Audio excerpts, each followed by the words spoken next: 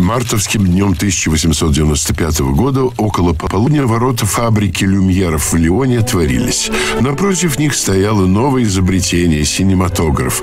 Аппарат, установленный прямо на тротуаре. Что сказали люмьеры в тот день? Начали мотор. Архивы молчат об этом, но это исторический момент.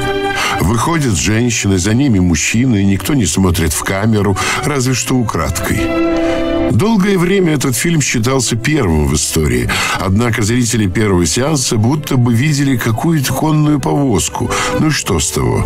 Людям нужен был первый фильм. Назначили этот. Выход рабочих с фабрики «Люмьер». Но потом была найдена другая версия. Может быть, именно эта версия – первый фильм. Изображение более хрупкое, но построение кадра ничем не отличается от прежнего.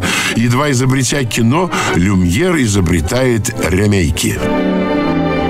Обратите внимание на тень на земле. Солнце еще не в зените, вероятно, это начало марта. Да и люди одеты значительно теплее. И что же появляется в самом конце?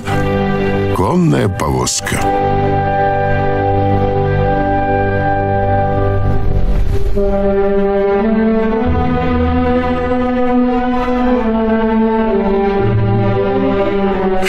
третья версия, несомненно, снята в марте 1895 года. Те же персонажи, порой те же лица, собака-велосипед. Кто-то принарядился, кто-то дурачится, чтобы привлечь внимание. Очевидно, съемка была постановочной.